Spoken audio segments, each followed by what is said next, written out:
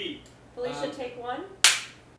And we are very proud to welcome her to the Academy of Women. Felicia, take two. All right, stand by. Janet Ayers has a passion for helping her community, giving her time and support to numerous nonprofit organizations. Janet is the immediate past chair of Centerstone of Tennessee. Her passion and dedication to prevent and cure mental illness and addiction disorders are an inspiration.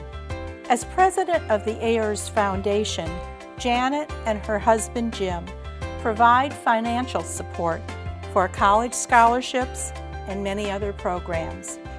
The foundation has awarded more than 3,000 college scholarships since 1999. Tireless, passionate, dedicated to serving her community, Janet is a natural, inspirational leader, and we are proud to welcome her to the Academy for Women of Achievement.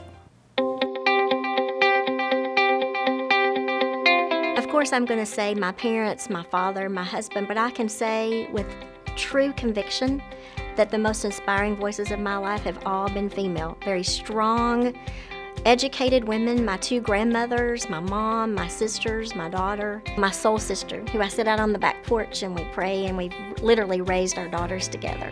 So it's been a, a, a legion of really strong women who have inspired me through the years.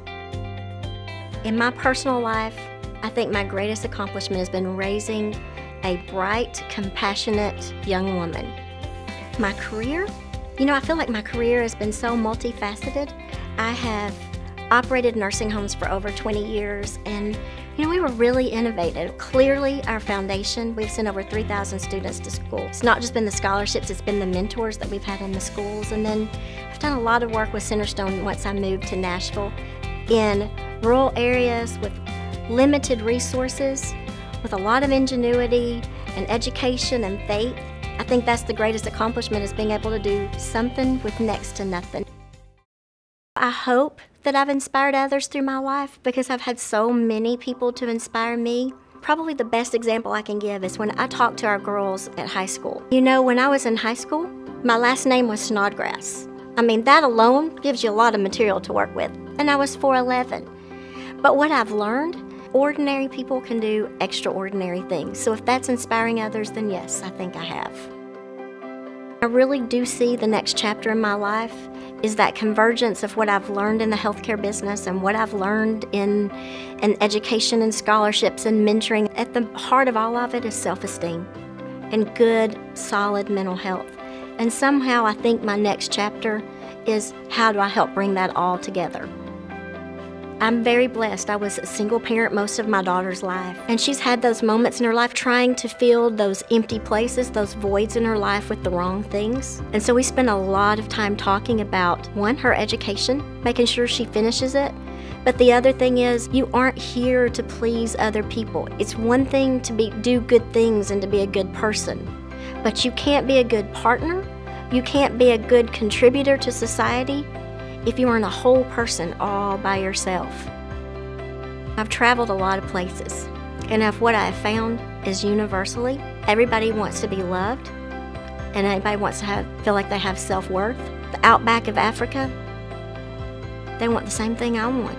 It was about their family and taking care of each other. And so many times we find ourselves thinking we want to change people to be like us, and what I think I've experienced the most is I can always learn so much more that I could ever teach. It took me a while to get there, but I can say the things that bring me the greatest peace and joy is my faith and my family. When the world is chaotic, I can go there and be calm and peaceful and never forget where I came from.